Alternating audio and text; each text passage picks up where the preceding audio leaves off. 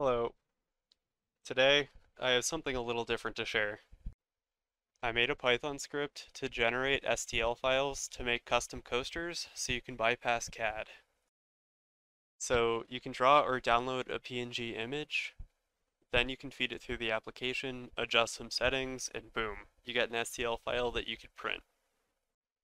I have to say that this is still a work in progress and there are some significant issues with it, I plan to make another video to follow up and attempt to improve on it, but in this video I'll be taking a look at how I made this and how it works, and show it in action.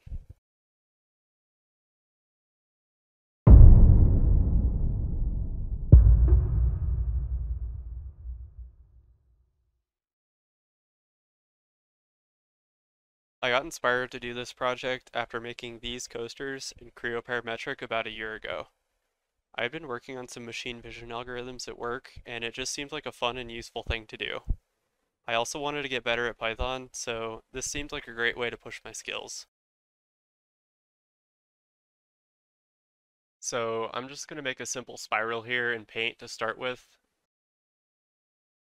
And I'll just take a quick screenshot of that and save it to the directory where the script looks for images in. Alright, now that we have our image, let's go ahead and provide the path in our script. Uh, I use a class called coaster_image to contain image processing methods, and then I have a function to show the image. Um, let's take a look and see if it loads properly, and yep, that looks pretty good.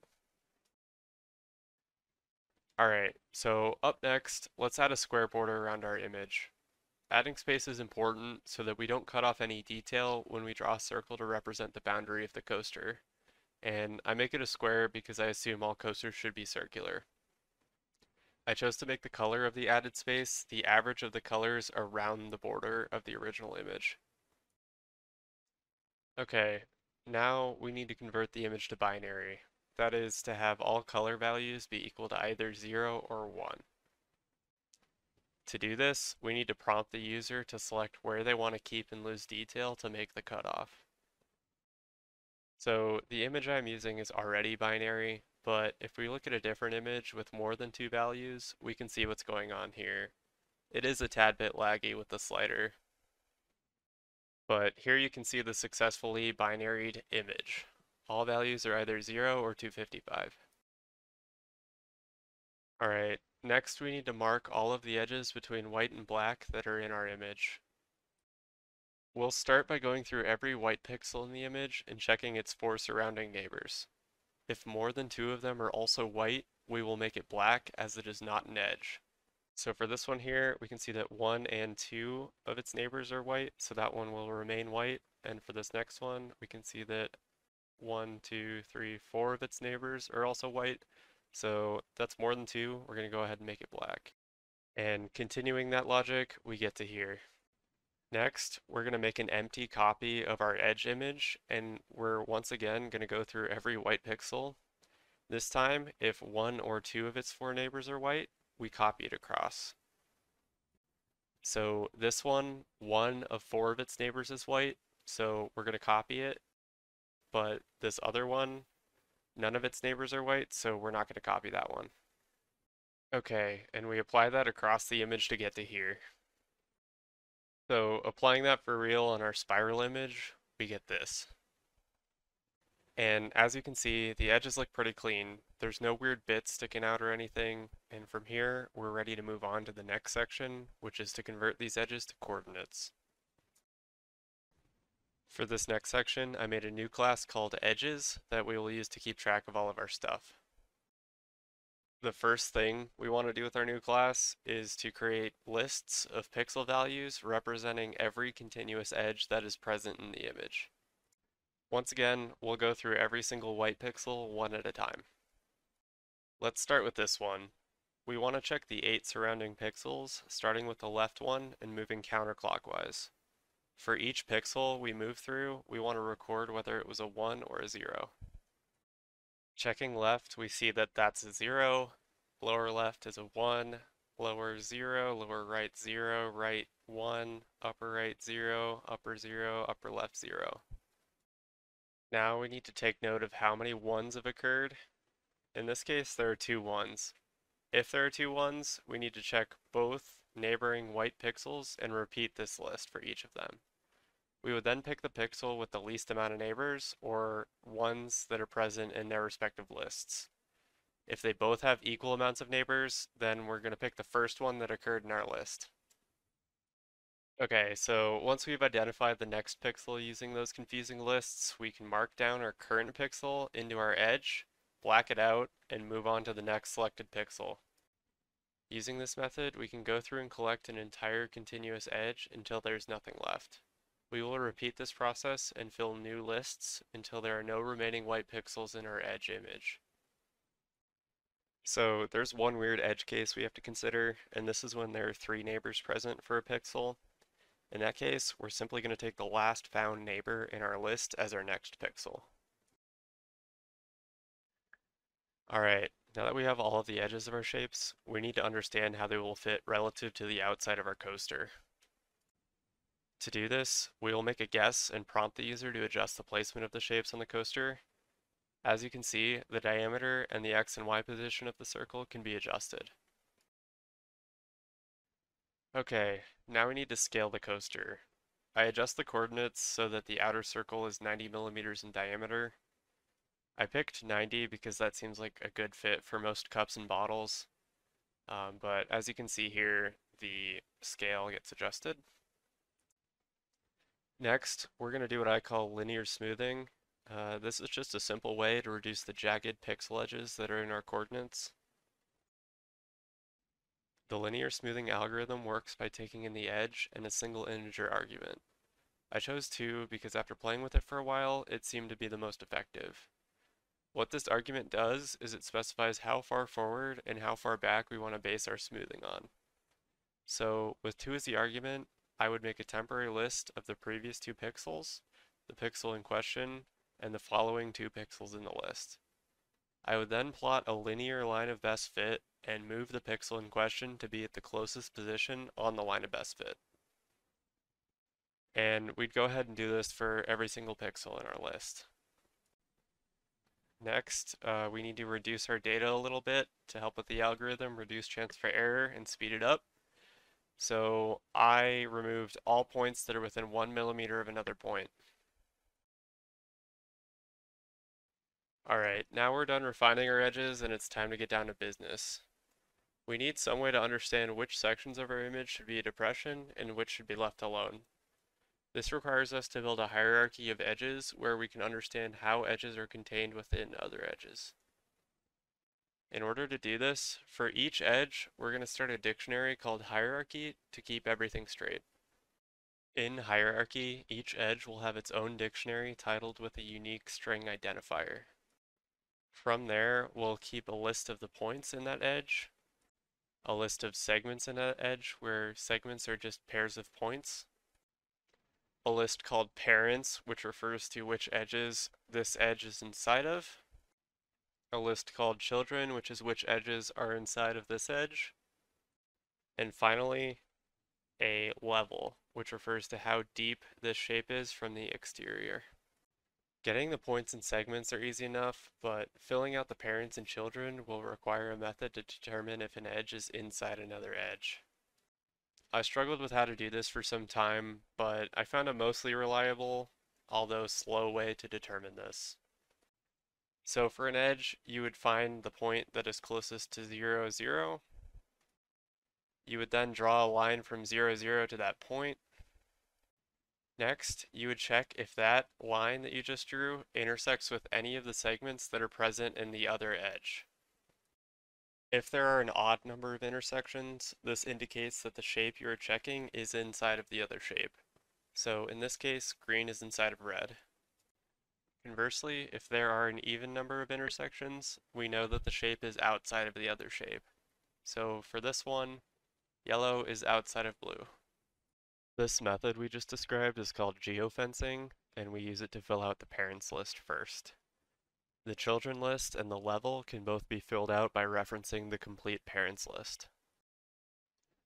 Alright, so next we need to understand what our groupings are, that is, what shapes are present in our image. Basically, we want to know for every shape, is it a valley or a plateau? What edges constitute the shape? Which edge is the outer one? And which edges are inside, if any? To organize our work here, let's make another dictionary called groupings. Similarly, there will be a unique identifier for each group and a subdictionary beneath that ID. In that subdictionary, we'll have an element for outer, containing just the ID of the outer edge, inners, a list of the IDs of the inner edges, and then valley, which is just a true false. Before we go any further, it makes the most sense to quickly go over how an STL file is structured and what sorts of rules we need to meet from our code. I only worked with the binary style of STLs, but there's also an ASCII version that I didn't bother familiarizing myself with, so we're just going to focus on binary in this video. Alright, so the structure of the STL is organized like this. First, we have 80 uint8s serving as our header, which is meaningless as far as I'm concerned. We're just going to add these as zeros to our file. Then we have one uint32, that is the number of triangles that will be described in this file. Then we have our triangles. Each triangle is made of 12 32-bit floating point numbers structured in IEEE 754 format. Not sure why dolphins were naming mathematical number formats, but here we are. Here's the code I used to convert normal Python floats to dolphin numbers.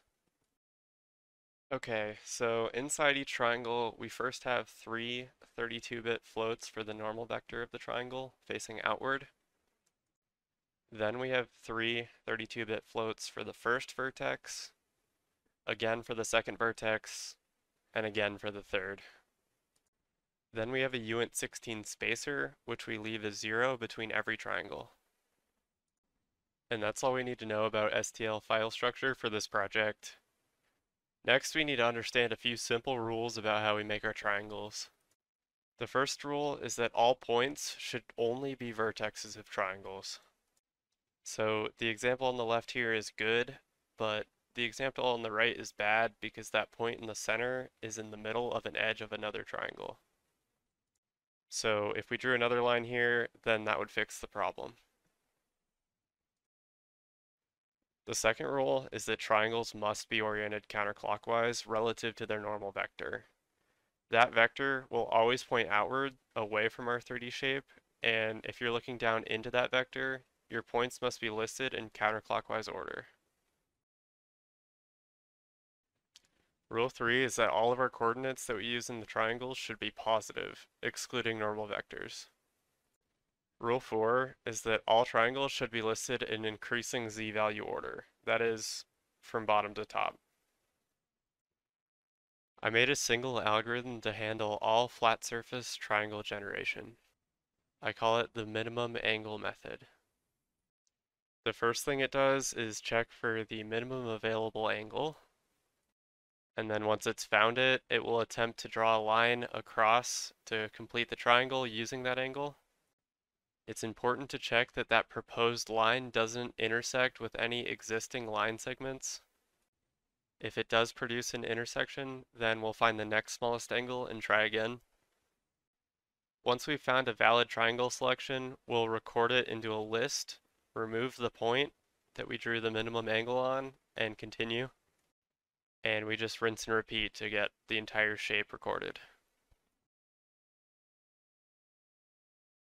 To reiterate, if we do encounter an intersection, then we'll find a different angle that suits us, and that should solve the problem.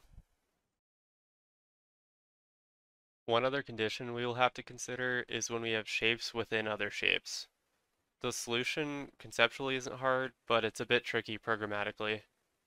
So what we're going to do for each inner shape is we'll find the closest distance between an inner and an outer point, and then we'll make the shortest possible bridge to the outside shape, given that there are no intersections in that new segment we're drawing. From there, the inner and outer lists can be combined into one, and then the problem can be solved normally with the original algorithm. Alright, so now that we've explained all of that, let's take a look at the code again. So I start by first generating the base or the bottom of the coaster.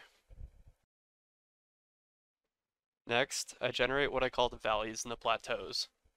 The plateaus would be the face of your coaster, and the valley would be the floors of the depression. In order to build the non-flat walls of the coaster, we will need to do something a little different. We'll start by simply drawing all of the columns, then we'll draw all of the horizontal bars, and finally, we'll connect them with diagonal lines. And here's where I implement that in the code. I start with the outer walls and then do any of the inner walls that might be present in the coaster. I haven't found a great way to plot these, so please forgive the plots. Okay, so we finally have all of our triangles, and all we need to do is write them to our STL file. So we first run a method to collect all of our triangles into an organized list, and then we write them to our STL along with all the other necessary formatting.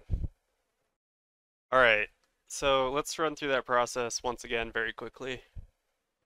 From the user side, we just choose where to cut off to binary, then we adjust the placement of our outer circle representing the boundary of the coaster. And then we do have to wait a little bit of time, but we should see our file pop up in the main directory where the scripts are located, given that there's no errors. So yeah, our model is looking good. This could then be loaded into a slicer software like Cura, and then once your settings are good, it's ready to print. That's all I have to share this time, but I didn't go over everything in this video.